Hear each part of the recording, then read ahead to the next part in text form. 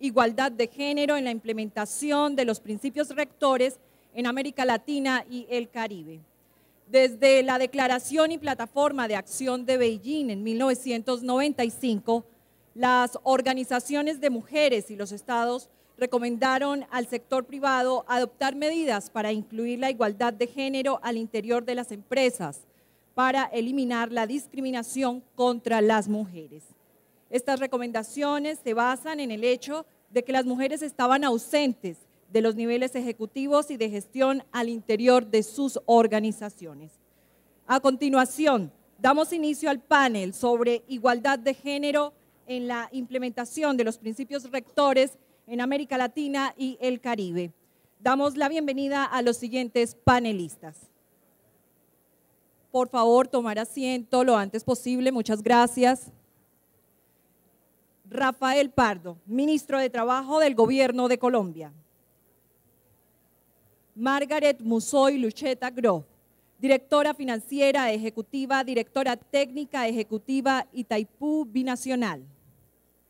Lidia Heller, miembro fundador de la Red Latinoamericana de Mujeres en Gestión de Organizaciones y miembro del Consejo Vital Voices.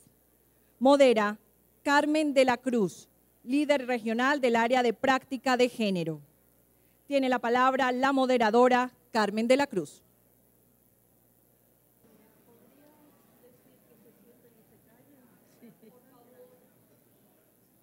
Hola, hola, hola. Por favor, tomar asiento que vamos a dar inicio al quinto panel del foro. Gracias.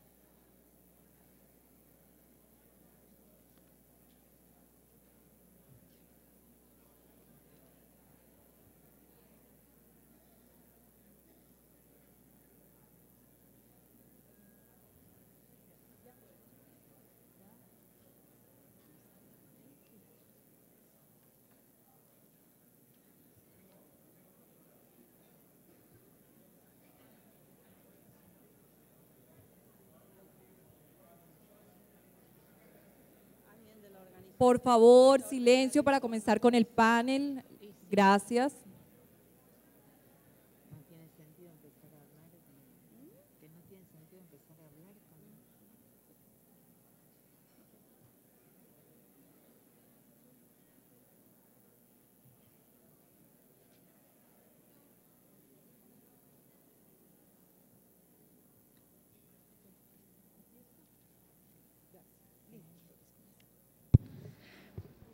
Buenos días, muchísimas gracias por compartir con este panel sobre igualdad de género en la implementación de los principios rectores en América Latina y el Caribe con eh, eh, las personas que estamos hoy aquí en la mesa.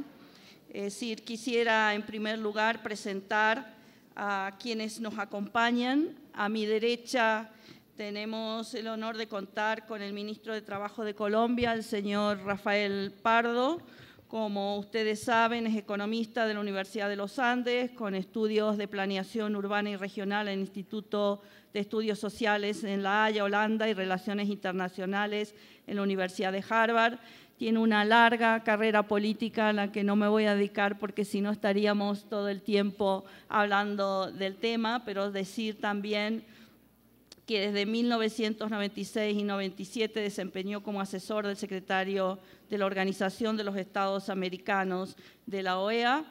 En su actividad parlamentaria fue distinguido como uno de los mejores senadores por la seriedad de sus propuestas y sus debates de control político y como presidente del Congreso Nacional eh, Liberal, del Partido perdón, Liberal eh, Colombiano, lideró la incorporación de iniciativas como la ley de primer empleo, la ley de víctimas y ley de tierras y la creación de un fondo de pensión para trabajadores y trabajadoras en la informalidad, entre otras propuestas dentro del acuerdo de unidad nacional convocado por el gobierno del presidente Juan Manuel eh, Santos. Ha sido también catedrático e investigador de la Universidad de los Andes. A mi derecha también me acompaña la señora Margaret Musoy Lucheta Golf, que es ingeniera civil formada por la Universidad Federal de Paraná, con estudios de posgrado en Ingeniería Económica de la UNIFAE y en Finanzas del INVEC y máster en Dirección de Empresas. Trabaja en Itaipú desde 1987 y además de ser la directora de Finanzas, promueve las acciones del Programa de Equidad de Género en las Empresas, coordina el Grupo de Trabajo de Salud y la dirección del Comité del Proyecto de Vehículos Eléctricos de Itaipú.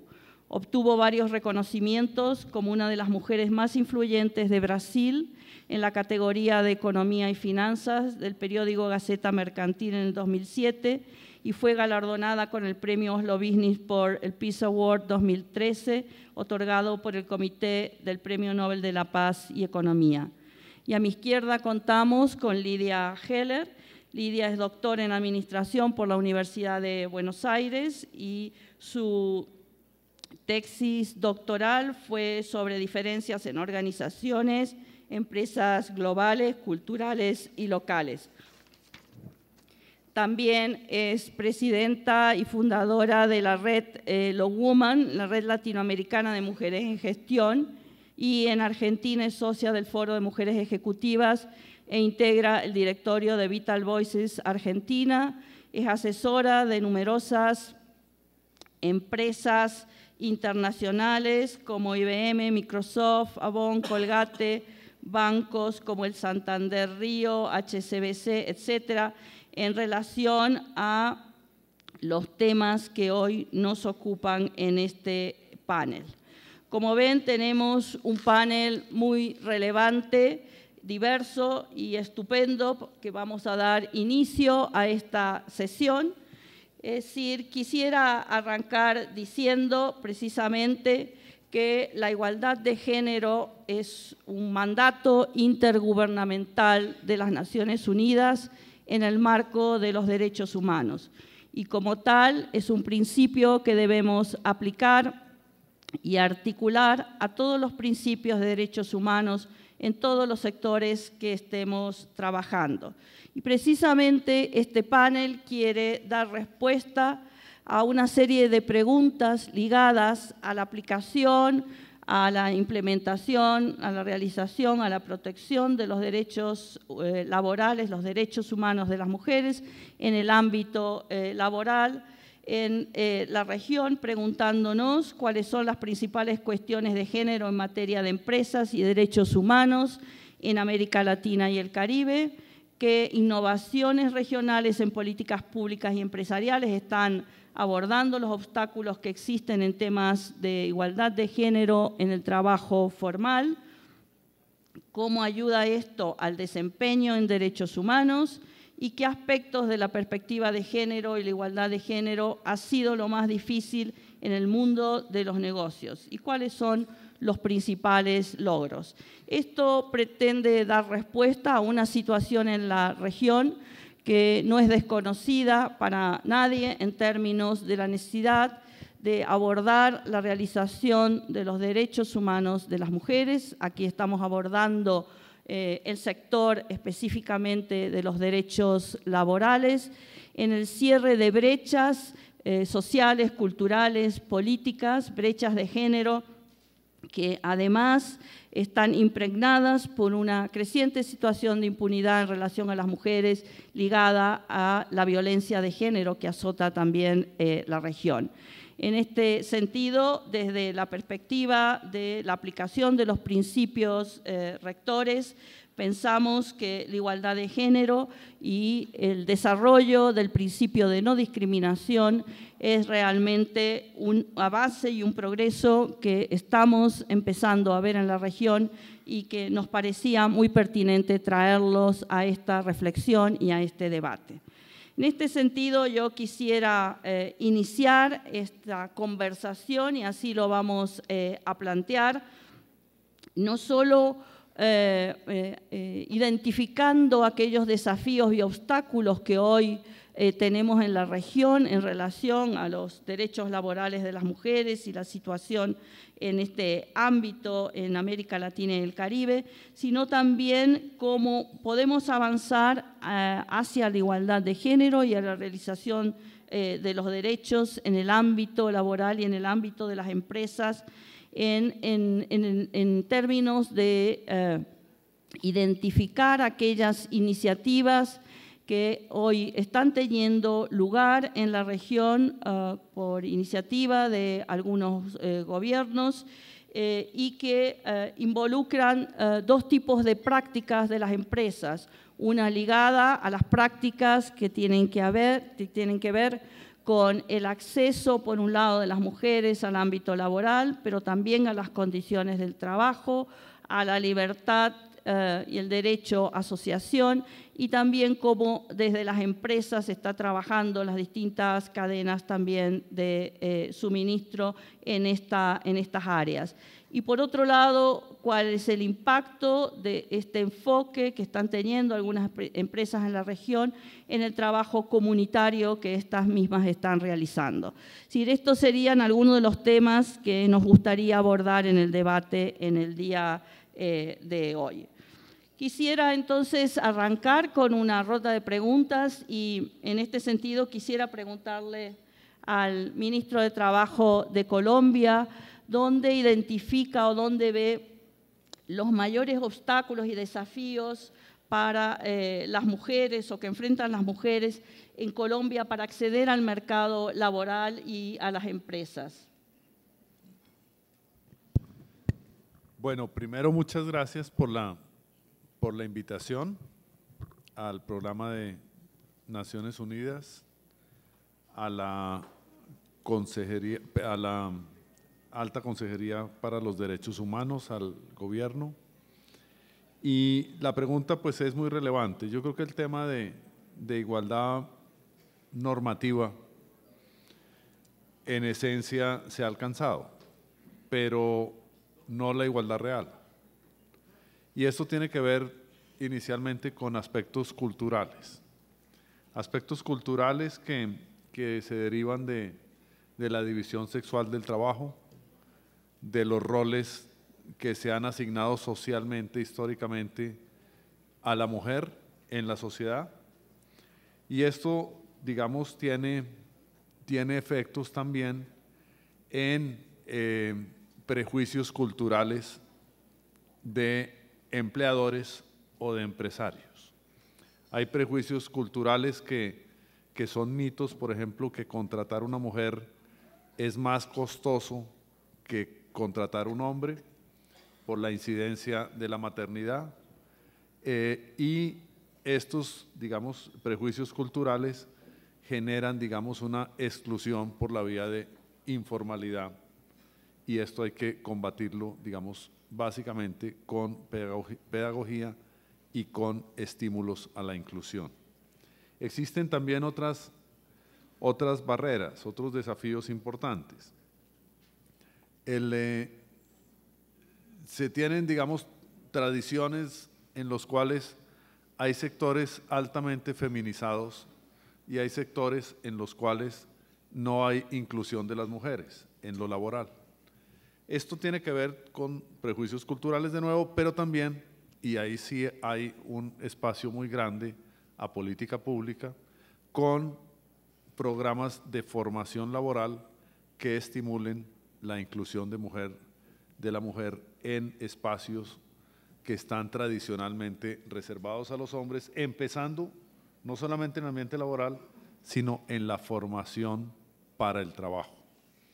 El, el tema de, la, de empleo y desempleo tiene también, digamos, un efecto muy negativo frente a las mujeres en comparación a los hombres.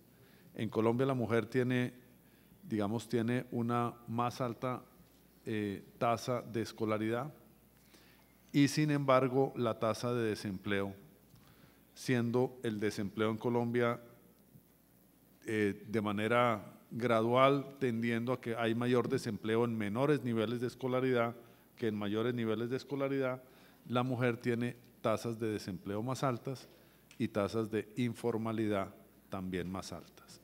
Entonces, los temas culturales tienen que pues, ser rebatidos con pedagogía, con estímulos y creo que más adelante podemos hablar de esos temas. Muchísimas gracias. Quisiera preguntarle a Margaret, hay un tema muy relevante en términos de acceso uh, a, las empresas y a, derechos de, las mujeres en ese sector, que tiene que ver con la promoción de las mujeres en, las empresas y el tema de la carrera profesional. A mí me gustaría preguntarle eh, sobre el cumplimiento de estos, eh, derechos en relación a eh, precisamente las carreras profesionales y el acceso de las mujeres a las empresas em Brasil. É, muitas graças pelo convite a este fórum, de ter a oportunidade de estar falando desse tema tão importante no momento, tanto para os governos como para as empresas e principalmente para as mulheres. É, eu, eu quero dizer, a primeira questão é a seguinte: esse tema é um tema novo, né, no, neste século que começou a ser tratada a questão da equidade de gênero nas empresas. Se nós, eh, quando nós iniciamos na nossa empresa no Itaipu, que foi no ano de 2003, até a palavra equidade de gênero era uma é, era uma coisa estranha no meio laboral, né, entre os empregados e as empregadas. Então, é, nós temos uma questão, como bem falou o ministro, uma questão cultural muito forte, até pela forma como a sociedade é, nos vê, vê as mulheres. As mulheres sempre estão sendo a, a, a mola mestra familiar e o homem é a, a, mola mestra da empresa. Né? Essa é a forma. No entanto, a mulher foi para o mercado de trabalho. Né? Da mesma forma, as mulheres estão têm mais acesso à universidade e hoje no Brasil tem, tem mais mulheres na universidade do que homens. No entanto, quando nós olhamos para a, as empresas, para a liderança, para a alta direção das empresas, tem muito menos mulheres do que homens. Então, a ascensão profissional da mulher ela é muito, é, ela está muito morosa, né? Isso tudo tem uma questão cultural, como como eu bem falei. Então, nos últimos dez anos, que, que, as, que, os governos e as empresas têm se preocupado com esse tema e têm desenvolvido ações, e muitas grandes, das grandes empresas têm colocado, inclusive, metas para levar isso para frente. Né? Então, é uma preocupação, hoje, não só do governo, como é das empresas. Isso não só no Brasil, na América Latina, como é no mundo. Tá? E é necessário uma mudança de cultura. O processo realmente é lento. É lento porque nós temos que fazer uma grande mudança inclusive dentro das nossas próprias normas das empresas. A grande per pergunta é como é como nós podemos acelerar isso.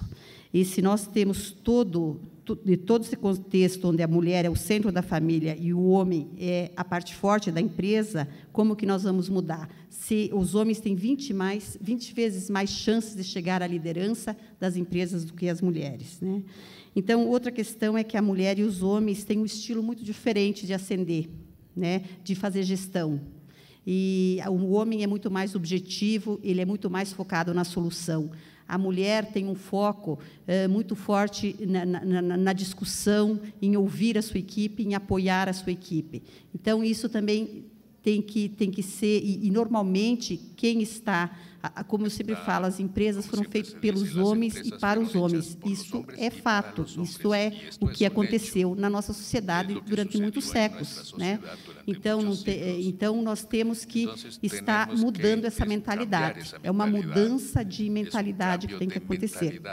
As, do ponto de vista da legislação, é, também a legislação, quando é uma empresa pública, quando é um governo, nós com temos o a governo, dificuldade, temos a eh, dificuldade de, de, de levar as mulheres, levar às as vezes, até a mulheres, passar nos concursos públicos. Nós não inclusive podemos a discriminar, passar nem nos de um lado concursos e nem do públicos, outro. pero não né? podemos discriminar Agora, a nem de um mulher, lado por e de ter a outro. questão da família, mulher, ela como muitas tiene la vezes, ela no familia, meio da ella carreira, muchas eh, veces en ela la mitad de chega su mais cedo carrera às empresas, llega mas no más meio da temprano carreira, a às las vezes, ela empresas, deixa pero en la a mitad de la empresa carrera por deja la conta de empresa eh, de cuidar da família. para Então, cuidar esse é de um sua outro família. problema, E uma esse outra é questão, outro como, é, problema. como que essas empresas Como podem fazer a as empresas retenção. podem E aí que fazer vem a a mudança de retenção. mentalidade das Aí empresas viene e a la- el mudança cambio de de políticas de mentalidade das RH das empresas empresas, e de que foi uma las, das eh, coisas que nós políticas, trabalhamos que muito, es algo depois que mais para trabajamos frente eu vou falar de mucho, Itaipu, más adelante o que voy a nós hablar de trabalhamos muito Itaipu. essa questão. Trabajamos mucho esse Então, nós assunto. temos que criar modelos Temos de que criar trabalho modelos que de apoiem trabalho, homens e que mulheres apoiem a homens e e as mulheres suas responsabilidades e suas familiares.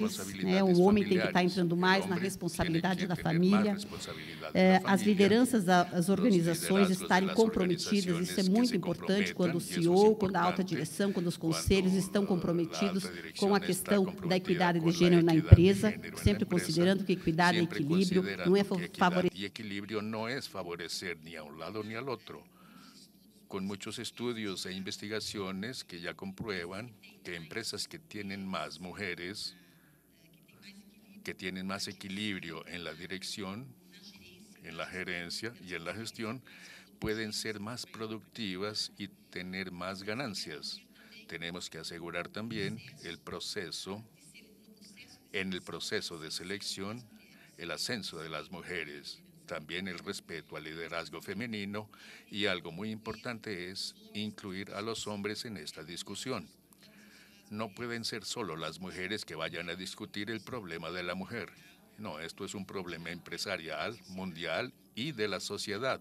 Y los hombres tienen que estar incluidos en ese asunto de la equidad de género. Y algo importante es la comunicación internalizada desde el punto de vista de las leyes.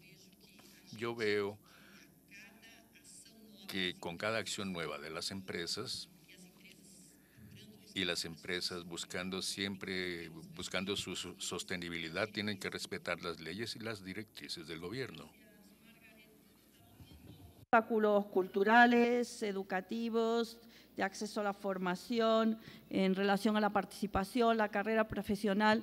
Yo quisiera para cerrar más o menos esta, esta, primera parte en relación a los desafíos y obstáculos, preguntarle a Lidia en concreto cuáles son las deudas pendientes que tiene la región en relación a los derechos laborales de las mujeres a partir de lo que hemos escuchado hasta el momento.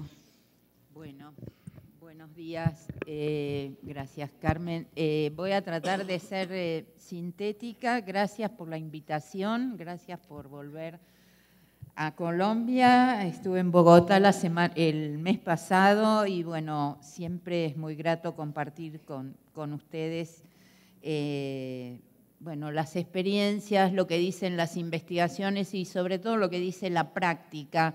Y como integrante de, de una red latinoamericana que ya tiene más de 10 años en la región, y fue un poco pionera en todos estos temas. Eh, me permito hablar porque hemos vivido y hemos experimentado y estamos en contacto con muchas mujeres de muchos países de la región y aprendimos mucho.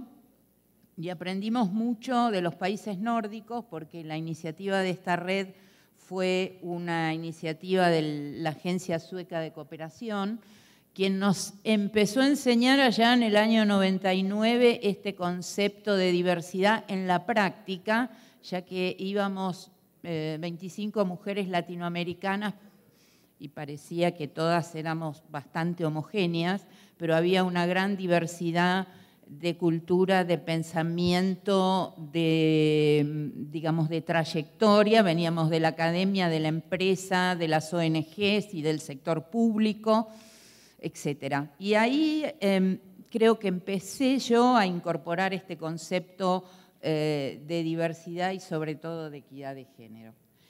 Eh, bueno, América Latina es una región donde las tradiciones aún no se han ido y la innovación tarda en llegar. Y, y esto lo podemos ver porque ha habido una irrupción de mujeres en el mercado laboral muy grande a partir de los de los 70, de los 80 y de la década de los 90. Eh, las mujeres están en distintos ámbitos y en el sector empresarial están avanzando y las empresas, específicamente me voy a referir al caso de las empresas, están comenzando a instrumentar lo que se llaman programas de equidad de género y programas de diversidad con sus luces y sus sombras. Eh, como muy bien decía el ministro, hay temas culturales que exigen algo más que la implementación de una práctica, de una política o de una norma y que exige tener pensamiento diverso, que exige tener una mirada eh, diversa y hace que en muchos casos, por más que se implemente una determinada norma o una determinada práctica, esta no logra bajar al interior de las corporaciones. En la mesa anterior se decía también la necesidad de que haya una cierta estructura organizacional, un diseño organizacional, hablando para el caso específico de otras prácticas, pero en este caso de temas de género también, que posibilite esta implementación de programas que en algunos casos y en algunas empresas están siendo exitosas y en otros no. Entonces, cuando uno hace el análisis de ver por qué algunos están resultando exitosos y otros son un toque y me voy, como decimos habitualmente, eh, nos damos cuenta de algunas falencias que me gustaría después, si hay un poquito de tiempo, profundizar, porque, bueno, todos estos procesos que son procesos de cambio, como son los procesos de integración de los talentos, varones, mujeres y otras minorías, y incluyo a las mujeres como minoría, porque las mujeres, a pesar de que somos mayoría, todavía seguimos siendo minoría en el acceso a eh, algunas posiciones o en, eh, digamos, el desarrollo de la carrera laboral. Entonces, este, todas estas cuestiones implican algo más que aplicar o, eh, o incluir una guardería dentro de una empresa, sino que tienen que ver con un entorno que facilite, que diagnostique cuáles son las reales necesidades de varones y mujeres, e incluyo a los varones porque los programas de equidad de género en las empresas necesariamente tienen que tener equidad en el interior, o sea, hacia varones y hacia mujeres, y no podemos incluir o focalizar solamente ciertos programas para mujeres solo. Eh, porque esto produce boomerang, porque muchas mujeres los rechazan y porque los varones se sienten excluidos. Entonces, bueno, estos son los, algunos de los ajustes que creo que debemos empezar a debatir a la luz de más de 10 años que han transcurrido desde que las empresas en Latinoamérica han comenzado a realizar este tipo de iniciativas. Después profundizamos, si quieres. Gracias, Lidia. Eh, sin duda, estas, estas programas, iniciativas que hay en, el, en la región están mostrando a otras regiones precisamente que se pueden poner en marcha iniciativas innovadoras y América Latina es un ejemplo de eso. Eh, programas que apuntan precisamente a garantizar estos derechos laborales y a promover la igualdad de género. Eh, en América Latina existen en este momento 12 países que cuentan con lo que se denominan programas de certificación de sistemas de igualdad de, género, promovidos en general por los mecanismos de igualdad de los países, los ministerios de trabajo, también organismos de industria o de competitividad. Y en este sentido, estos eh, programas ah, articulan eh, eh, las propuestas o las políticas que los gobiernos se están dando en esta materia y eh, ponen en marcha iniciativas conjuntas con diferentes empresas en, en los países. En este momento hay aproximadamente unas 1.500 empresas en la región certificadas a partir de estos programas de certificación de sistemas de gestión para la igualdad de género.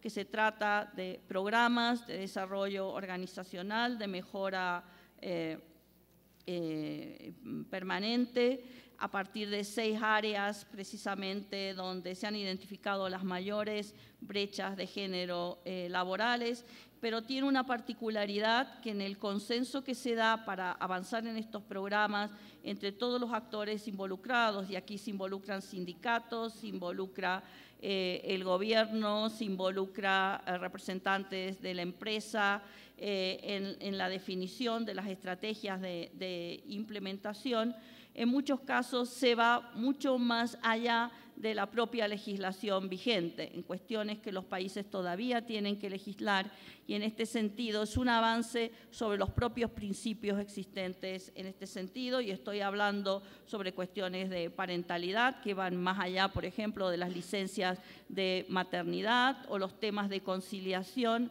eh, que es parte de iniciativas que necesitan de la corresponsabilidad social y que todavía en muchos países no están legisladas. En este sentido, eh, el PNUD, el Programa de las Naciones Unidas para el Desarrollo, ha apoyado la implementación de estos programas y está eh, facilitando la comunidad regional del sello de igualdad de género en que participan estos 12 eh, países y que articulan también con una red de em, em, empresas por la, por la igualdad para avanzar en estas eh, cuestiones y creo que son experiencias relevantes en tanto abordan las cuestiones pendientes en términos, decía, de brechas de género, de realización de derechos laborales, pero también abordan, es decir, cómo eh, podemos articular iniciativas para la comunidad donde se insertan estas empresas. Quisiera entonces eh, poner eh, dos ejemplos y le pediría entonces al ministro eh, Pardo que nos, nos cuente la experiencia que se está iniciando en Colombia en relación al sello de igualdad laboral dirigido a las empresas en Colombia, si nos puede contar cuál es el objetivo del programa, a quién está dirigido, cómo pueden certificarse las empresas, es decir, que nos haga un pequeño resumen de esta iniciativa que desde el gobierno colombiano se está teniendo desde el Ministerio de Trabajo. Sí, es el sello de equidad laboral. Lo desarrollan el Ministerio de Trabajo con el PNUD y con la Consejería Presidencial para la Equidad de la Mujer.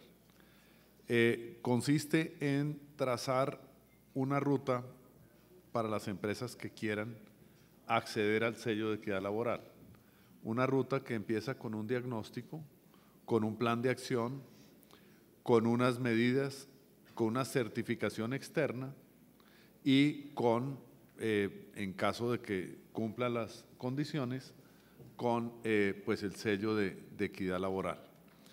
Este, proceso se inicia, digamos, por voluntad de la empresa, con un eh, acuerdo de compromiso con, con el ministerio, y con un proceso de evaluación externa por la entidad nacional que eh, desarrolla las normas técnicas. Es decir, no lo hace el ministerio propiamente, sino esta entidad que se llama ICONTEC en Colombia.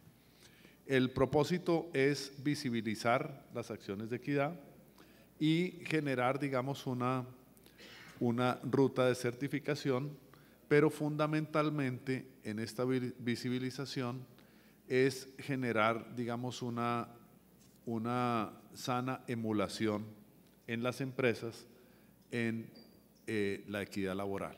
De la misma manera como hay una serie de, digamos, de sellos de el mejor sitio para trabajar o la empresa que tiene mejor ambiente laboral, eh, queremos que este sello de equidad laboral sea parte de la, de la emulación de, de empresas en tener una ruta específica medible y verificable en el tema de equidad.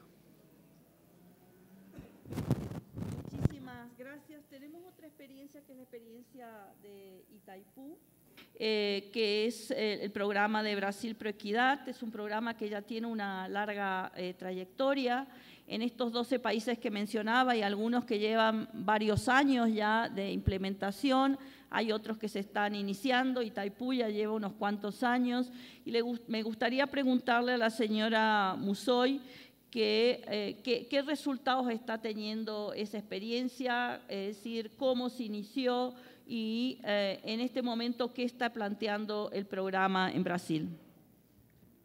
Muito bem. É, só para deixar claro, muita gente não conhece a Itaipu. A Itaipu é uma empresa binacional com dois acionistas. con dos accionistas, el gobierno brasileño por medio de Electrobras y el gobierno paraguayo por Andi. Las dos son comercializadoras de energía en cada uno de sus países, con 50% para cada país. La mayor generadora de energía eléctrica del mundo, en 2012 generó 98 mil gigawatts, que equivale a 20% de la energía consumida en el Brasil. La sostenibilidad pasó a ser parte de la misión de Itaipú en 2003, introduciendo conceptos de la responsabilidad social y ambiental, junto con la excelencia de la producción de energía eléctrica. Y en este momento también se creó el programa de equidad de género, que para contribuir con el reconocimiento de los derechos humanos y de la ciudadanía de las mujeres y, resultó en un grupo de liderazgos para trabajar con hombres y mujeres sobre varios temas pertinentes a una nueva manera de ser de la institución y de la vida cotidiana de, la- de las personas. El programa es binacional, son empleadas y empleados del Brasil y del Paraguay, tiene su objetivo en la perspectiva de integración latinoamericana y en el Brasil se desarrolla de acuerdo con el segundo Plan Nacional de Política para las Mujeres del Gobierno Federal y fue premiado en las cuatro ediciones del sello para e- la equidad del género, con la alianza de la Secretaría de Política para las Mujeres, ONU Mujer, Organización General del Trabajo, PNUD y otras organizaciones. El programa, de manera binacional, está alineado con los principios de empoderamiento de las mujeres como iniciativa de la ONU Mujer y del Pacto Global. El programa de equidad de género de Itaipú es coordinado por un comité de género y está estructurado en tres ejes. El corporativo, que actúa desde el punto de vista interno, con el público interno, el socioeconómico, que actúa con la comunidad, sociocomunitario, que actúa con la comunidad. Entonces, todos los programas que Itaipú tiene en su ambiente del reservorio, con las comunidades que eh, son vecinas del reservorio, hemos introducido el concepto de la equidad de género y en las relaciones institucionales con otras empresas, con la Secretaría de la Política para las Mujeres, con la ONU Mujer y el Pacto Global y otras empresas relacionadas. Se fundamenta en, en índices de sostenibilidad que son firmados por Itaipú, como las metas del milenio, el segundo plan de política para las mujeres de la presidencia de la República del Brasil, el Pacto Global, el GRI, y Dow Jones y otros. Desde el punto de vista del eje corporativo, trabajamos en ese periodo, son 10 años de programas de equidad de género. Después, si te- tenemos la oportunidad, veremos otros detalles para mostrar los resultados efectivos, no dicho por mí, sino por las personas que están involucradas, por los colaboradores de Itaipú, pero él buscó traer condiciones para que las mujeres pudieran asumir espacio de liderazgo. El respeto eh, a lo que yo hablo siempre del liderazgo femenino y una de las eh, primeras acciones fue implementar el horario móvil en las empresas. Otra, la capacitación de las mujeres para que ellas llegaran a la gerencia. Otro fue mirar para en el momento de definir una gerencia si era un hombre o una mujer y primero mirar si los dos estaban capacitados, si, eh, si tendríamos no solo hombres, sino una mujer capacitada. Y ahí, en el comienzo del programa, teníamos más o menos 8% de mujeres gerentes y siempre en una gerencia de nivel más bajo. Hoy tenemos 22% de mujeres gerentes y muchas mujeres en gerencias del segundo escalón. Yo inclusive que soy directora, tengo consejeras en la empresa también. Entonces, ese es un punto muy importante, la conquista de las mujeres para ascender profesionalmente en Itaipú y da condiciones para que ellas puedan dedicarse a la gestión que nos exigen más, hay viajes y todo eso. Tenemos que dejar la comodidad y equilibrio emocional en casa. Así tenemos horario móvil y otras eh, acciones, otras cosas que no son beneficios y sí derechos de las mujeres en el trabajo para poder eh, dejar su casa equilibrada, igual que algunos beneficios y acciones que se extendieron a los hombres, como el derecho a guardería y la cuestión de acompañar a los hijos al médico y otras cosas. La iniciativa ha evoluido a medida que la empresa asimila el concepto de la, equidad de género. Entonces eh, es algo cultural. Fue muy interesante que en 2003, cuando comenzó esto, las mujeres empezaron a ser más discriminadas en la empresa. Una empresa de ingeniería, entonces la mayoría de los empleados son ingenieros, Recuerdo cuando yo entré a la empresa en 1987, yo fui la segunda mujer ingeniera y hasta 1990, 92, 93, éramos tres ingenieras únicamente. Cuando empezó a hablarse en equidad de género, era algo muy difícil de ser asimilado. Hoy no. Eso ya es una palabra respetada, las mujeres son respetadas profesionalmente y eso es eh, visto como normal. Entonces fue un proceso de cambio cultural, muchas acciones y después, bueno, tuvimos también eh, algo importante, que los principios de empoderamiento de las mujeres, de la ONU y del Pacto Global, somos el EPS. Itaipu fue una de las primeras que firmó en el Brasil y recibimos este año el premio de adherencia a los siete principios de empoderamiento. Fue la única empresa en América Latina que lo recibió porque nuestro programa de equidad de género llega a los tres ejes, el corporativo, sociocomunitario e institucional. Después les puedo hablar un poco más del aspecto institucional, qué es lo que Itaipu está haciendo para afuera de la empresa, transbordando su proceso de gestión interna y con eso hemos logrado evolucionar y mostrar nuestro ejemplo para otras empresas. Y ahora estamos en otra fase de, que es incentivar a los proveedores, porque creemos que ese es un proceso de cultural. Itaipu tiene casi 3.000 proveedores en el Brasil y es importante también llevar este asunto, esta pauta, a nuestros proveedores en nuestra evaluación de proveedores. A pedir a los panelistas que se ciñan al tiempo para poder interactuar más. Muchísimas gracias.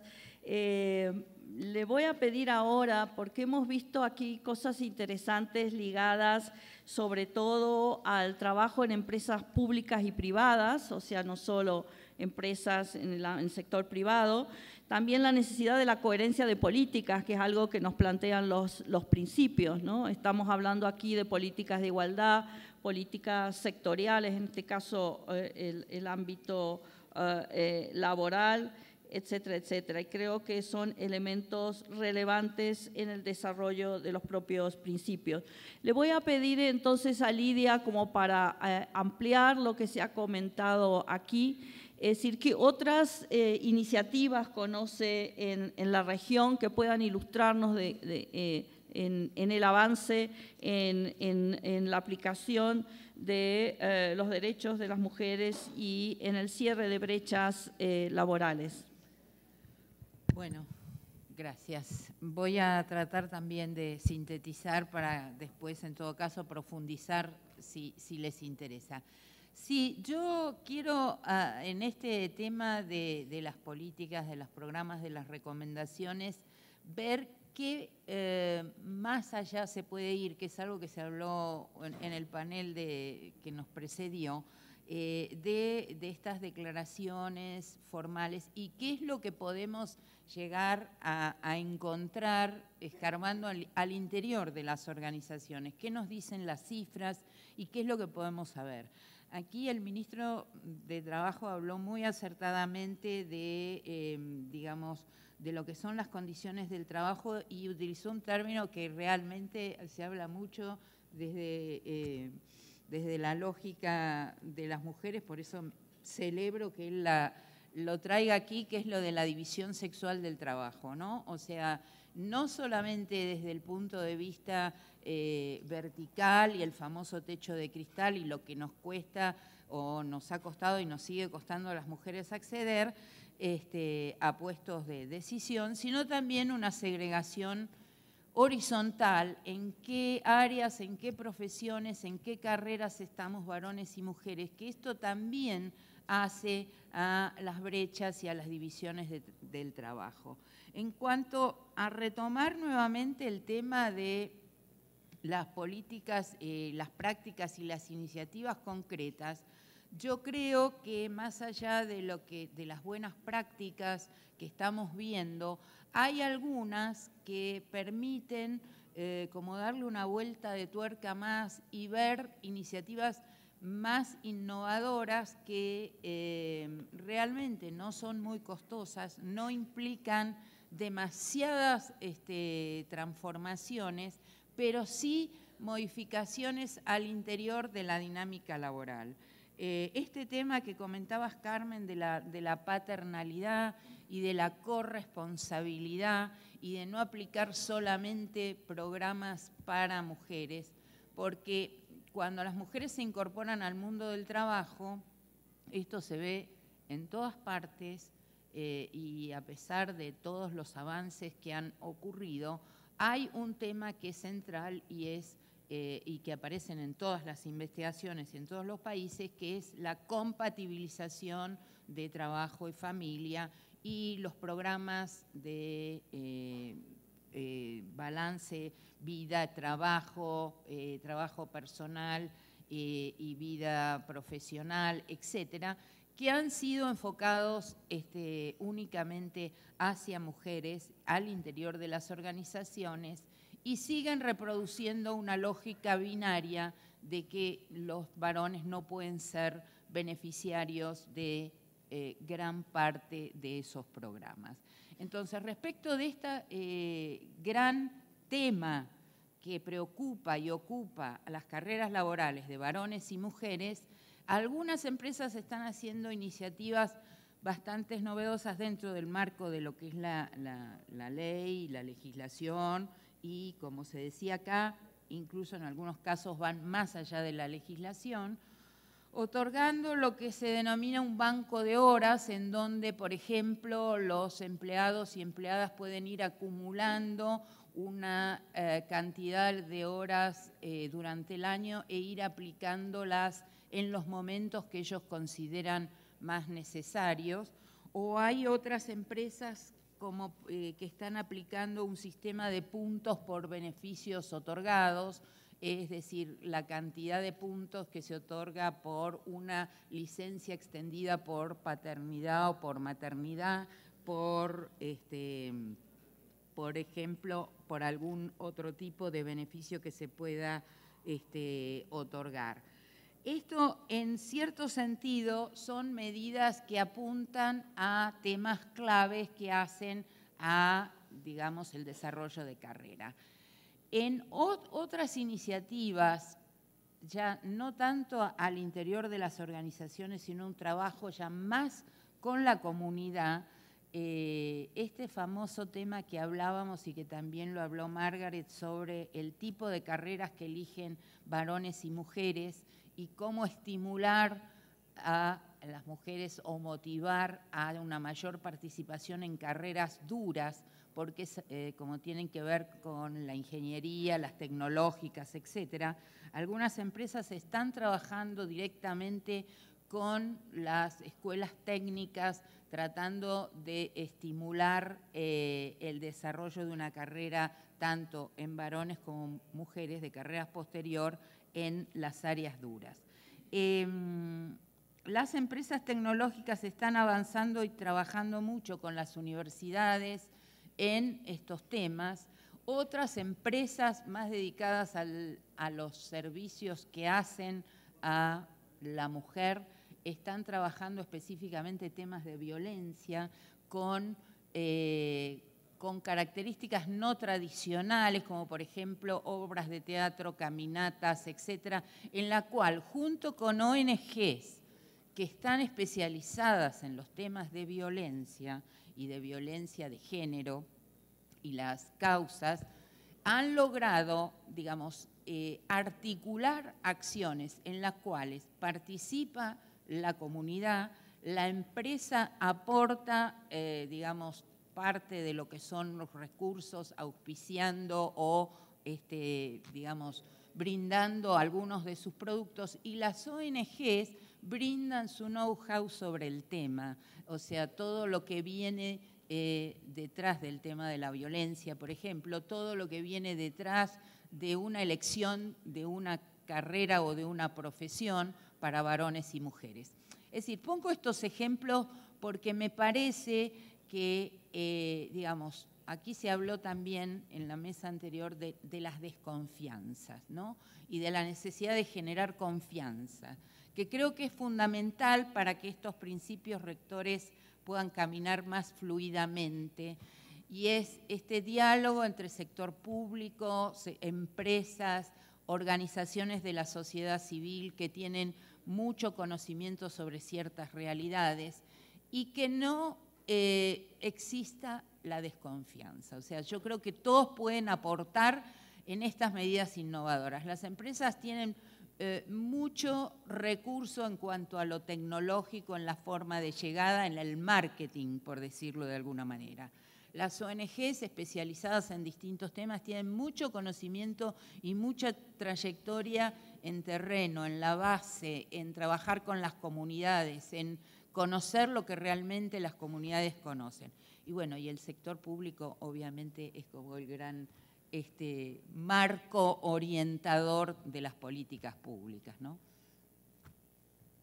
Gracias, eh, Lidia. A propósito de esto, le quería hacer una pregunta al, al ministro sobre el tema de las alianzas público-privadas. ¿Cómo ve usted este, este tema en relación a las propuestas, a las políticas, a las iniciativas que está, que está abordando el, Ministerio.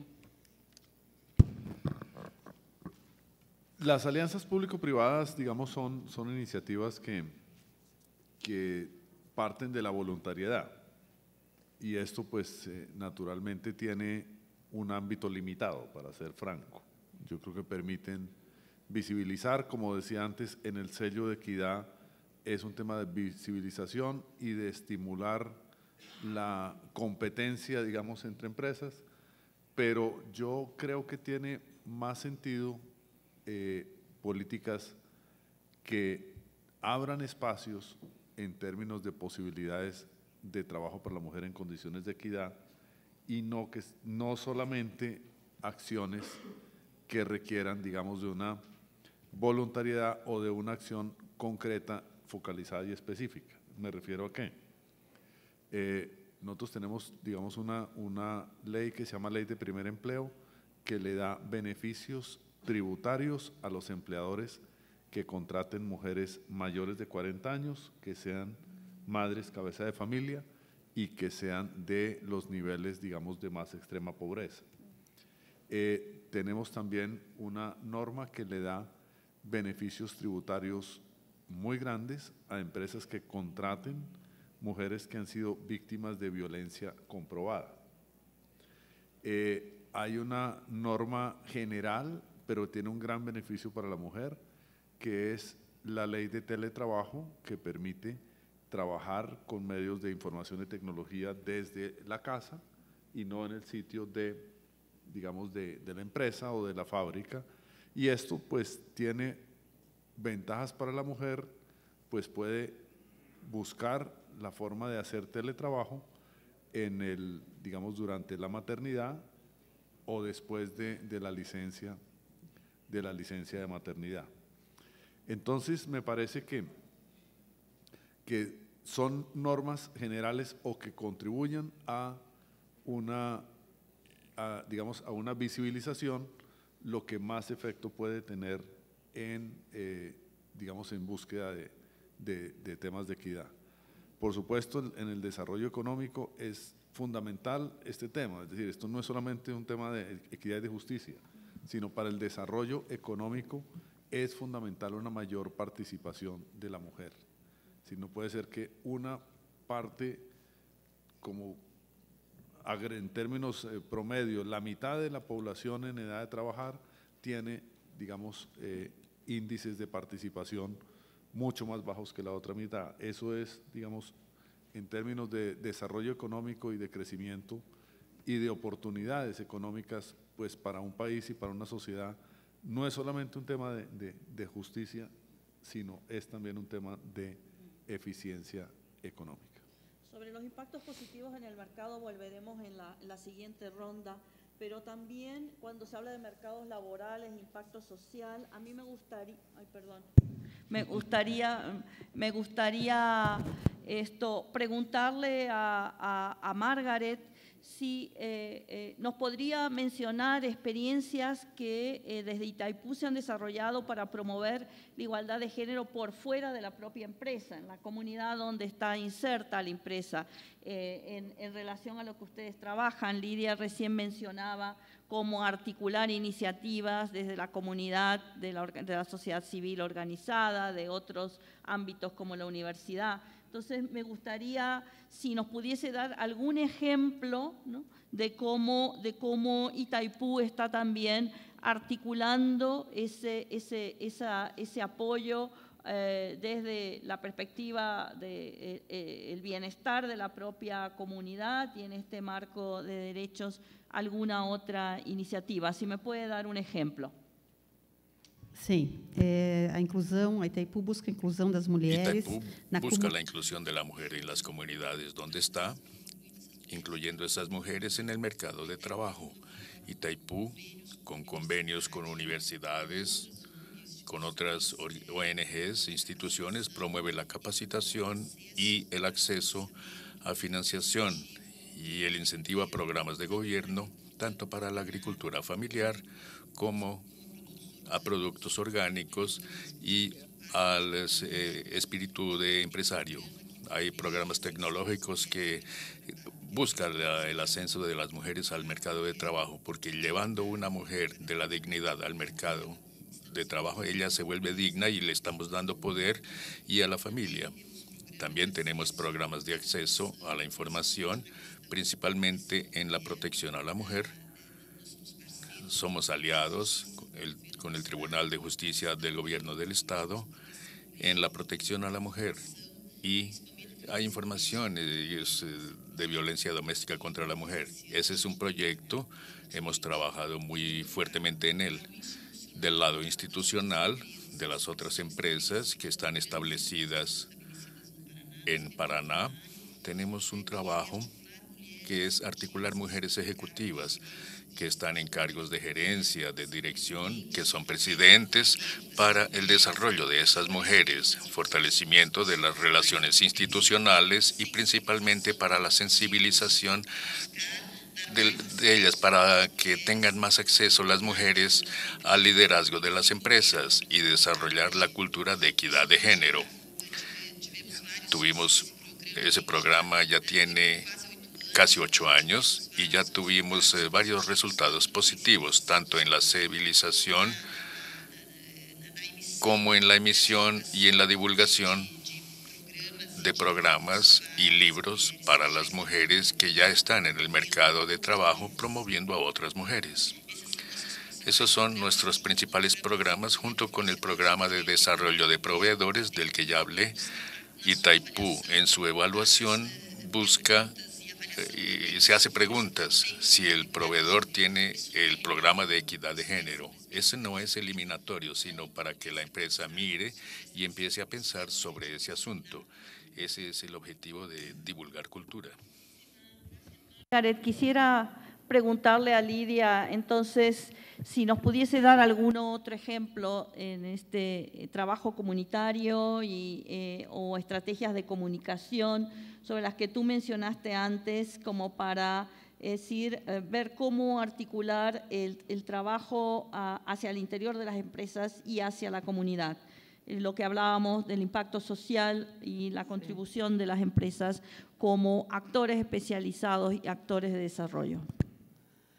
Sí, yo creo, digo, ejemplos hay muchos, este, desde algunas campañas eh, publicitarias, por ejemplo, que algunas empresas están eh, desarrollando, que pueden ser a favor o en contra, este, y el impacto que puede llegar a tener creo que ni los mismos publicistas de las empresas este, que contratan las empresas se dan cuenta del impacto que pueden tener, porque, bueno, evidentemente los, estudios del marketing de esto saben mucho, están trabajando con el, imaginario, trabajando con temas de, de identidad, de subjetividad, con lo cual, bueno, yo por lo menos como, observadora, acá ya no como, como, consultora, he podido apreciar algunas empresas que sí están evidentemente haciendo un trabajo, y en esto es un trabajo directo a la, comunidad porque la, televisión o los videos llegan eh, muchísimo,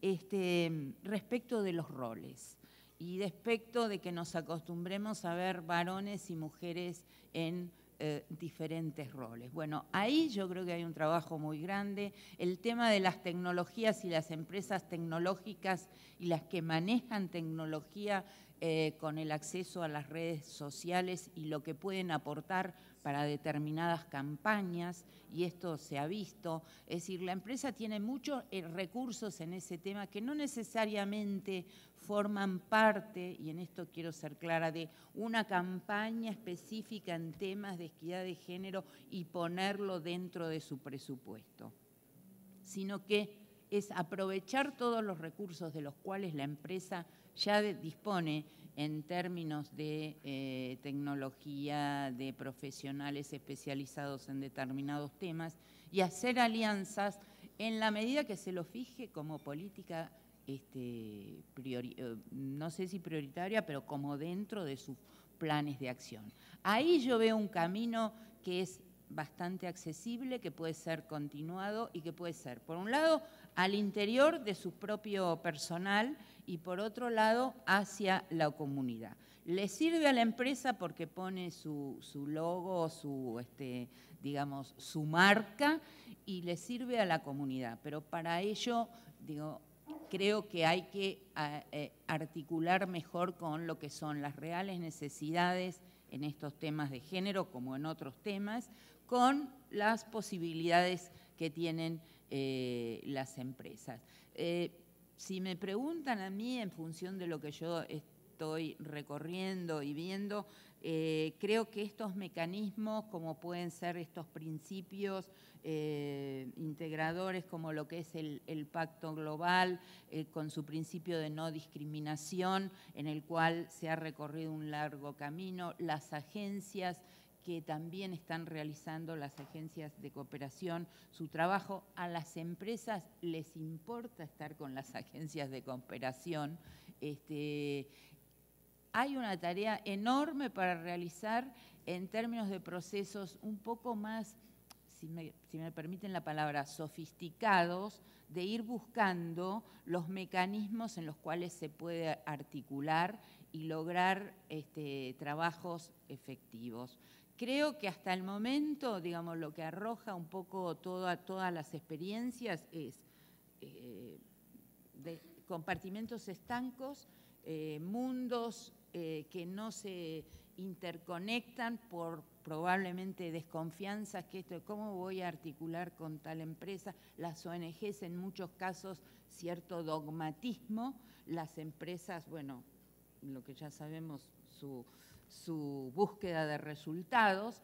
Entonces, este, creo que se está empezando a abrir un camino en el cual si trabajamos con más confianza podemos lograr estas eh, iniciativas más innovadoras con procesos más, un poquito más sofisticados que aprovechen los recursos que están de cada uno de los actores y estrategias mucho más integradas a partir de eficientes diagnósticos. ¿no?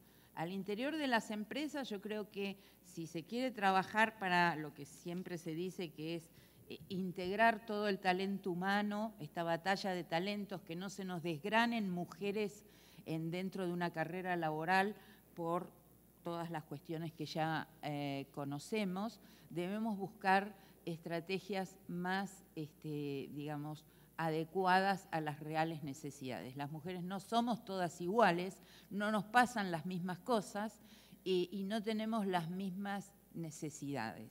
Entonces, muchas veces las compañías instrumentan un cierto tipo de programa y después hay mucha desilusión, mucho escepticismo, porque este programa no ha dado resultados, solamente la utiliza el 2 o el 5% de la, eh, del personal de mujeres, que esto ha sucedido con muchos gimnasios y eh, cuestiones de esparcimiento que eh, brindan las empresas y que después nadie los utiliza, porque para las mujeres realmente el tema del tiempo es un tema central, el tiempo es un recurso escaso, entonces hay que ver cómo se administra y cómo se gestiona ese tiempo y qué es lo que las empresas están brindando para este, lograr mayor aprovechamiento de ese recurso. Gracias, eh, Lidia. Antes de pasar a las preguntas, vamos a cerrar con una ronda muy breve dos o tres minutos. Aquí eh, se mencionó algo que me parece muy relevante. Esto es un tema de derechos, es un tema de justicia, pero también debemos señalar los impactos positivos que esto tiene en el mercado de trabajo y, por supuesto, en el cumplimiento de los derechos. Por lo tanto, me gustaría hacer una última ronda en relación, una reflexión de dos minutos, tres, en torno a estos temas para pasar a las, a las preguntas y le pediría a los panelistas una intervención en este sentido. Ministro, ¿usted quiere Sí, creo que ya, digamos, había señalado el punto. Eh, en términos de crecimiento económico, pues es, es evidente que una mayor participación de la mitad de la población que tiene niveles de capacitación por lo menos iguales a la otra mitad, es, digamos, un, propósito deseable en términos de crecimiento económico y desarrollo económico. Eh, hay también, pues, eh, estudios que muestran correlaciones. Uno no puede decir cuál es la causalidad, pero hay correlaciones. Eh, países que tienen más equidad tienen, digamos, mejores niveles de competitividad. Uno puede decir que hay causa o efecto o que es casualidad, pero lo menciono como, como correlaciones y creo que en eso pues hay muchos datos que pueden, que pueden ayudar a mostrar el beneficio económico, tanto micro como macro, de la mayor participación y mayor equidad de la mujer en el mercado laboral. Muchas gracias. En, ligar esta lógica de los derechos con la lógica del mercado, quería pedirle a, Margaret una reflexión en ese sentido. Gracias. Complementando lo que el ministro colocó, yo veo que... Veo que tenemos eh, la cuestión del aumento de la productividad en las empresas con equilibrio. El equilibrio siempre es mejor eh, del poder masculino y femenino, los dos trabajando juntos, con seguridad la diversidad gana y mejora la sostenibilidad empresarial. Y así también logramos divulgar más las prácticas de equidad de género y la empresa puede tener una mejora en el clima organizacional. Si tenemos empleados y empleadas más satisfechos, tendremos con seguridad una mejora en el clima y un aumento en la satisfacción de los colaboradores, con la consecuente mejora de la calidad de vida el equilibrio siempre va a llevar a una mejora en los resultados y en la calidad de vida de las personas, que es lo que se quiere. Gracias, Margaret. Lidia. Bueno, yo eh, personalmente creo que hay una ventana de oportunidades en América Latina este, para varones y mujeres en este, en este tema de derechos humanos en las empresas para hacer eh, una vida más humana, más vivible, más equitativa. Eh, las mujeres, y lo, comprobamos, este, se han incorporado activamente, un estudio que acabamos de terminar con la Universidad de los Andes, coordinado por la Universidad de los Andes para 17 países en América Latina, da que las mujeres están preparadas, tienen credenciales educativas y trayectoria, al igual que los hombres y en algunos casos superiores, tienen ambición, les interesa, que es algo que algunos estudios decían que no, les interesa arribar a posiciones de poder. Eh, es decir, que entonces la idea es que haya eh, oportunidades, no solamente les interese llegar a posiciones de poder, sino en todos los niveles de lo que es una estructura dentro de cualquier organización.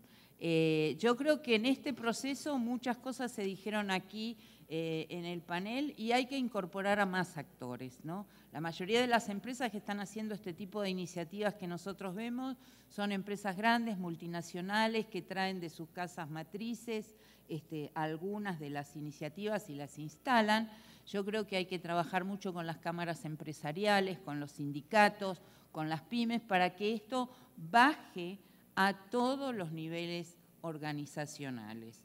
Y bueno, y ahí ese, ese es el gran desafío, ¿no? Y en eso estamos. Muchísimas gracias. No sé si hay preguntas del público. ¿Sí? No sé si se ponen en, en línea, ¿no? O directamente. Sí, pase, por favor, sí.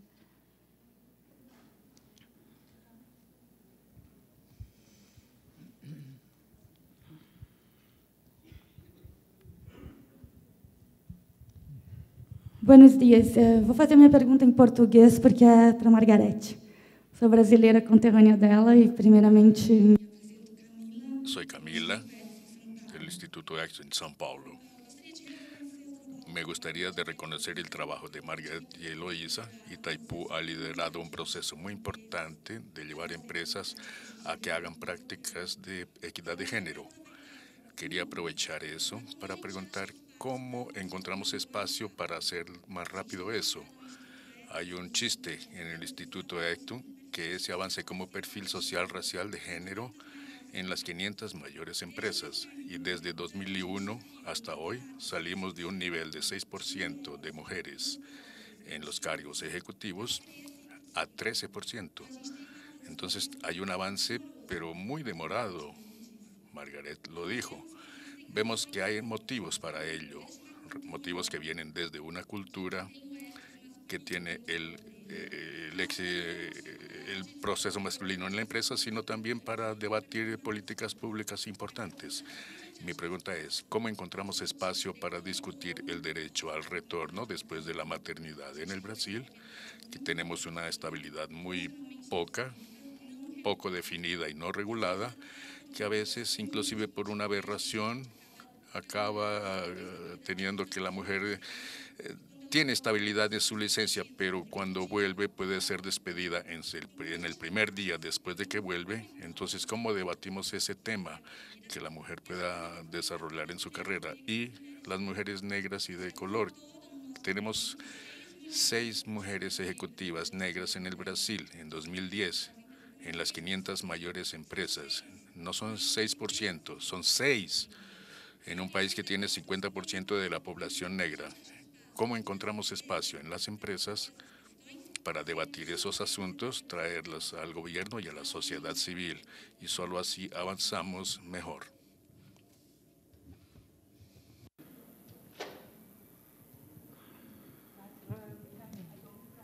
Sí, ahora aquí, ¿no? Okay.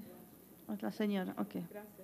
Eh, mi nombre es Glevi, Glevi, Rondón y coordino el trabajo de LAMP, una fundación sin fines de lucro um, que, que, está localizada en, Ingl en Inglaterra y trabajamos exclusivamente en la América Latina con mujeres rurales e indígenas afectadas por proyectos de extracción de recursos naturales. En primer lugar, quiero felicitar al foro por la inclusión en la agenda del tema género. Es algo eh, realmente extraordinario.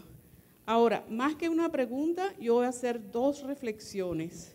Mi primera observación es que lamento mucho que el foco del panel haya sido los derechos laborales de las mujeres y se haya hecho a un lado el tema del impacto de la industria extractiva en los derechos humanos de las mujeres rurales e indígenas, uno de los grupos más excluidos de la región tomando en, tomando en cuenta que el que, me tiembla esta mano, sí, tomando en cuenta el impacto de las industrias extractivas en los derechos humanos de las mujeres eh, rurales e indígenas, considero que es realmente de, que es realmente devastador. Lamento profundamente que no se haya incluido a una mujer rural en el panel donde están ustedes. Como dijo eh, una de las panelistas, no todas las mujeres somos iguales. Gracias.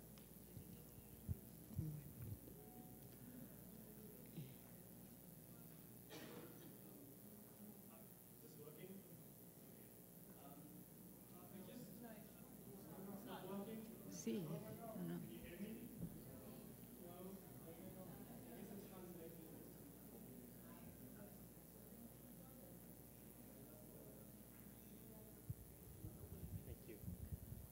Thank you very much. Um, uh, two questions. Um, first, for the minister, I have a, would like to hear Ministro, about yo quisiera saber un poco más sobre la participación de la mujer en sindicatos y la diversidad en materia de sindicatos que muchas veces tienen un perfil muy masculino.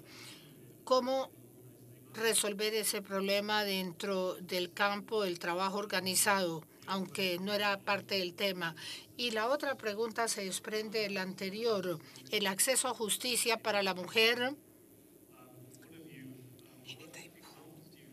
¿Qué ejemplos tienen ustedes, todos ustedes, sobre el enfoque respecto a acceso a la justicia y a reparación para las mujeres, especialmente en grandes proyectos de infraestructura o industrias extractivas que tienen su impacto en la agricultura y en la forma de ganarse la vida? Yo quisiera saber qué piensan ustedes al respecto. Muchas gracias de antemano.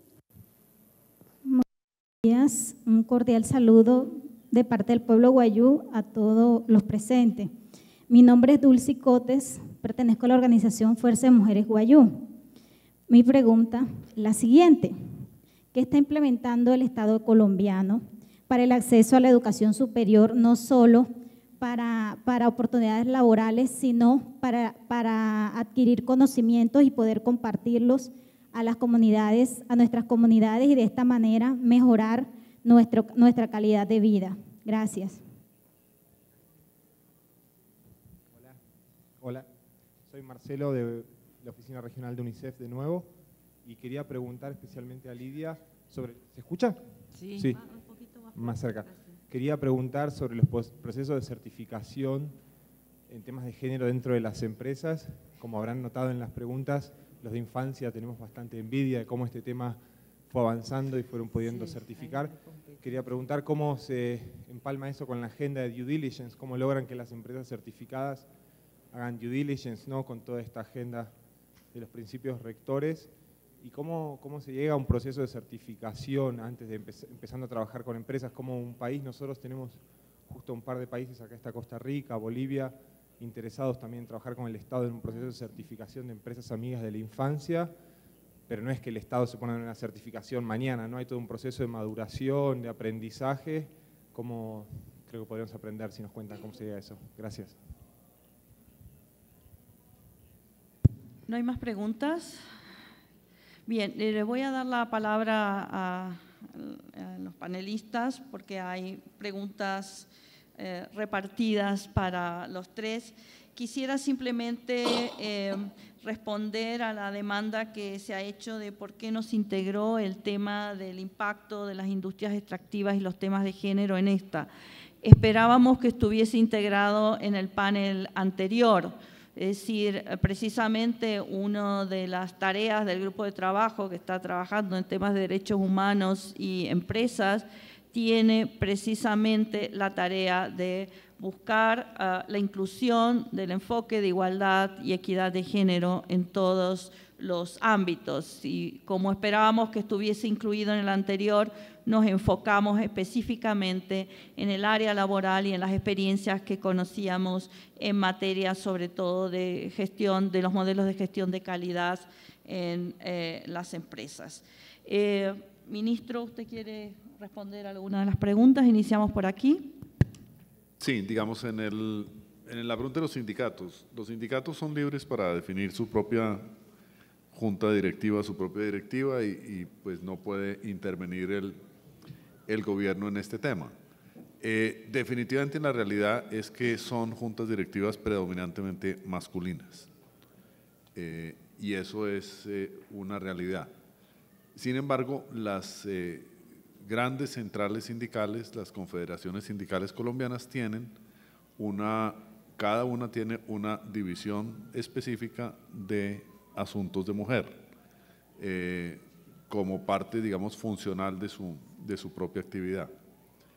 En el tema de, de, la, de, la, de las comunidades indígenas, la compañera de la comunidad Guayú, tenemos, digamos, el tema de la certificación de competencias y en certificación de competencias, pues estamos en un proceso de, de acercamiento para poder hacer certificación de competencias en transmisión de, saberes y de, y de conocimientos ancestrales. Pero estamos hasta ahora, digamos, en un proceso de, de construcción, hay que reconocerlo.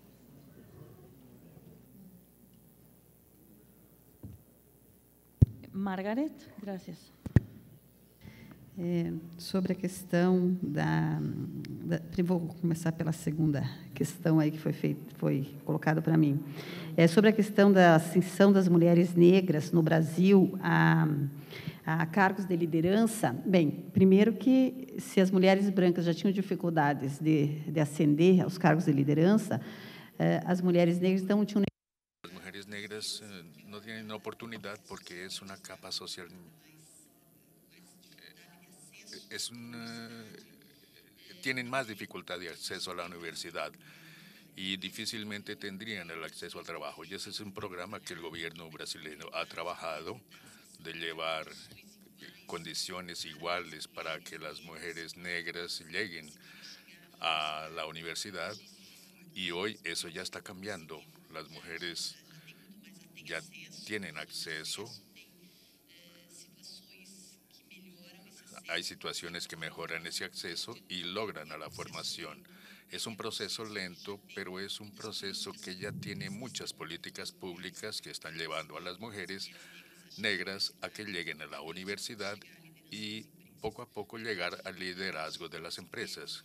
La dificultad de las mujeres blancas para llegar al liderazgo y cómo resolver eso, como las mujeres blancas, negras, pardas, orientales o lo que sea que lleguen al liderazgo y cómo buscar el espacio o qué espacios buscar, me parece que es algo que yo me, preocupo mucho porque tenemos dos herramientas muy interesantes, que son los principios de empoderamiento de las mujeres de la ONU y del Pacto Global. Tenemos prácticamente 500 empresas en el Brasil que firmaron ese pacto global y solo tenemos 55 empresas en el Brasil que firmaron los WEPs, los principios de empoderamiento de las mujeres. Y eso es muy poco. ¿Y por qué eso no sucede? Tenemos el sello de equidad de género y hay un mínimo de empresas que logran ese sello y está y se certifica. Entonces hay que hacer un trabajo muy fuerte, como Lidia dijo, con asociaciones, con federaciones de industria y comercio, con los sindicatos y las grandes empresas. Es una iniciativa que Itaipu tiene de trabajar con sus proveedores, porque ahí se va a llegar a la pequeña y mediana empresa. Soy adepta de eso, yo creé ese programa en Itaipú. Me parece que es el camino para divulgar este asunto. Es un gran desafío, pero quien está comprometido con eso y principalmente el Instituto EPS, que es un gran estimulador en la sostenibilidad en el Brasil, tenemos que promover esa discusión. Eh, Lidia. Bueno, eh, respecto de lo que comentaban sobre los programas de certificación de género y, bueno, cómo empezar cuando un país quiere em, empezar este tipo de programas, yo creo que, eh, bueno, necesariamente tiene que ver con la, política pública en, los temas de género, en los temas de género que, está instrumentando cada uno de los países, en los temas de infancia o en otras, eh, en otras cuestiones. Y, mm, digamos, este es un tema de política pública en general, en que la mayoría de los países, bueno, la gente de, de ONU Mujeres podrá explicar eh, mejor puede acercarse por distintas vías, vía algún ministerio, algún mecanismo que tenga que ver con eh, las cuestiones específicas de género, de infancia o otras cuestiones. Y eh, también puede ser una universidad que impulse este, este tipo de, de programas. por mi experiencia de haber colaborado en algunas iniciativas, a las empresas les interesa mucho este tipo de certificación. Es un proceso que se está simplificando, en general, en algunos casos era, eh, digamos, llevaba toda una serie de de mecanismos y eh, eh, diagnósticos, con lo cual hacía difícil. Acá hay un tema de cómo enamorar a las empresas para que puedan integrar eh, o, incorporarse a este sello, aunque les interesa, bueno, no es fácil entrar, hay que ver en qué áreas o a través de qué áreas, qué sectores este, se entra, en general es a través de recursos humanos o de direcciones o gerencias de recursos humanos. Algunas empresas tienen su propia eh, área de responsabilidad social, entonces a partir de allí se pueden entrar. De todas maneras, específicamente en los temas de género, yo coincido eh, con lo que se habló aquí. A mí me parece que este es un tema que transversaliza a todas las las cuestiones y que no deberían ser tratados como, como compartimentos estancos. ¿no? Y el sello da la posibilidad de abrir una, a, una serie de iniciativas que ya algunas empresas están este, eh, instrumentando y que esto las enmarca dentro de un contexto mucho más amplio y complejo y que permite también que ellas mismas empiecen a incorporar esta perspectiva de derechos, que hasta el momento muchas no lo tienen. ¿no? O sea, ¿qué significa hablar de equidad de, de, género desde la perspectiva de derechos? O en los temas de infancia desde la perspectiva que da la Convención de los Derechos del Niño, por ejemplo. Esto yo creo que es un paso significativo que se abre con esta, esta comunidad de sellos o estos eh, programas de certificación de sellos de equidad, ¿no? Abrir, abrir.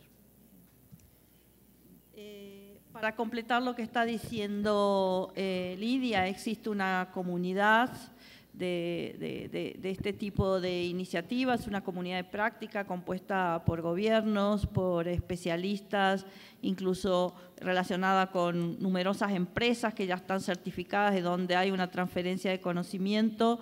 Eh, te puedes acercar a, PNUD y, podemos conversar, porque, como decía, hay 13 países en este momento involucrados ya, algunos de los que tú mencionaste con una práctica eh, concreta. Si no hay más preguntas, eh, cerraríamos el, panel. Eh, aquí hay un comentario pregunta. Le pido que sea breve. Micrófono.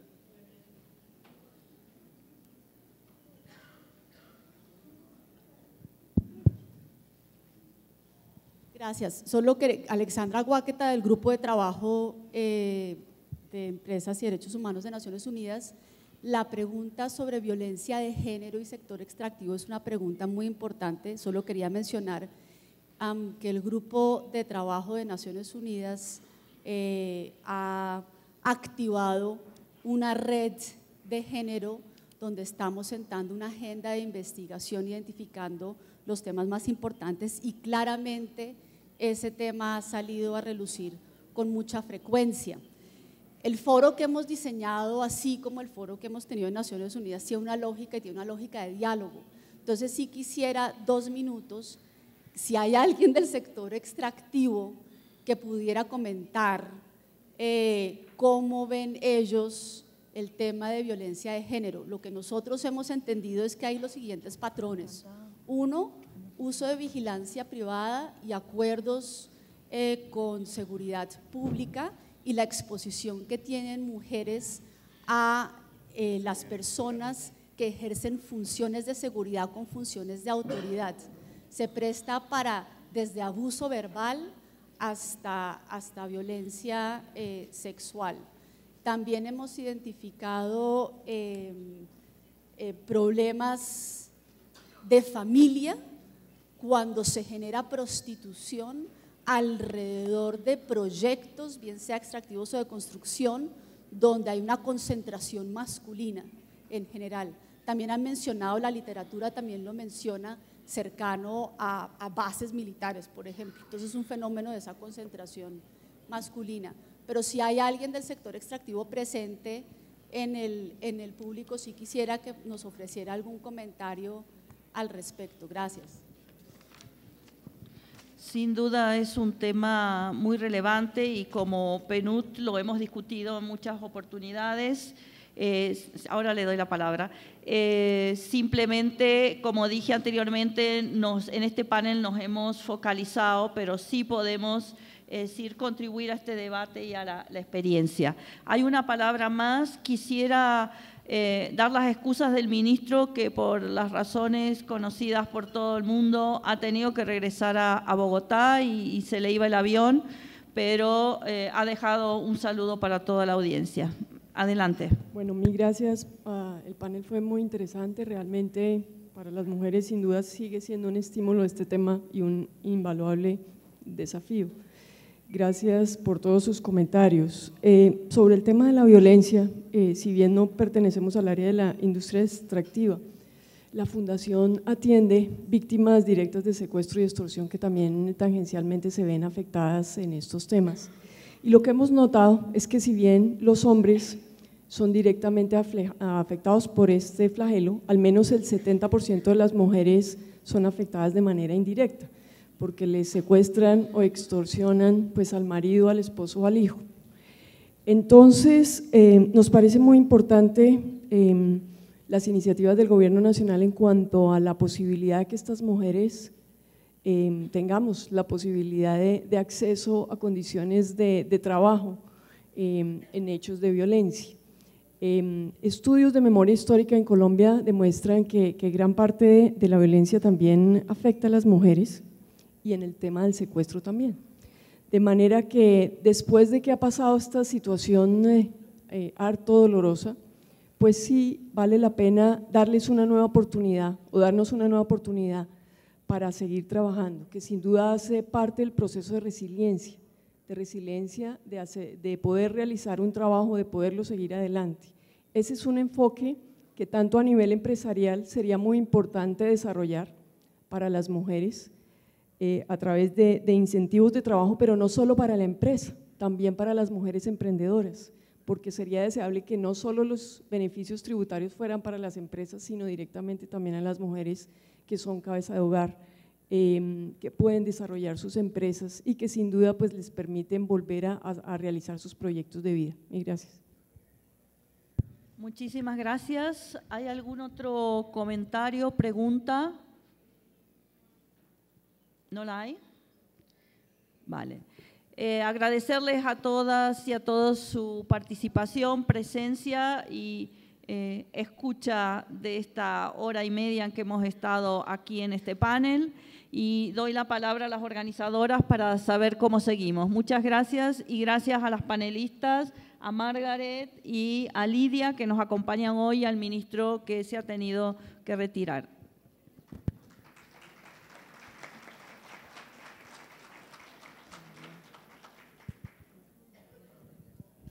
¿Aló? ¿Aló? quiero sí. quitar un momento antes de bajar a almorzar para revisar con ustedes el programa de mañana, porque la agenda que tienen impresa tiene solamente la información general. Si es posible proyectarlo, por favor. Mañana vamos a tener una mecánica diferente, una mecánica más abierta con una serie de sesiones simultáneas. Eh, es decir, que ustedes tienen que escoger a cuál van a asistir. Una cosa importante es que van a ser en el piso 2 que son salones de trabajo pequeños, eh, para que vean el, tipo de, actividades. Hay un entrenamiento que va a ofrecer el Instituto Danés de Derechos Humanos, que ese es un taller de, entrenamiento.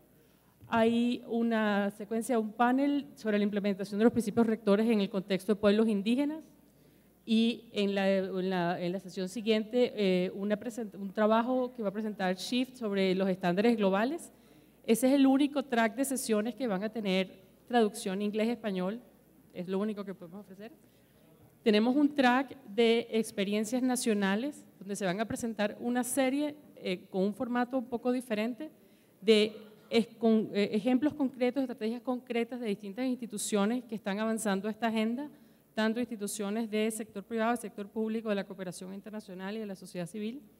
Y en el último track de sesiones hay un entrenamiento específicamente para organizaciones de la sociedad civil que va a, ofrecer SOMO y SEDA y un diálogo, eh, este es el único que no estaba en el programa impreso, pero ustedes recibieron ya la información por email, sobre eh, remedio efectivo, eh, que consideramos que ese es un tema que después de la sesión de ayer en el que hay, hay mucho que abundar.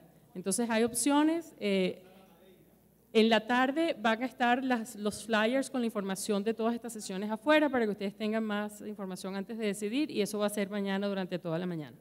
Ahora, nuestra amiga. Ya, el piso dos abajo. El- Tú nos dices a dónde vamos.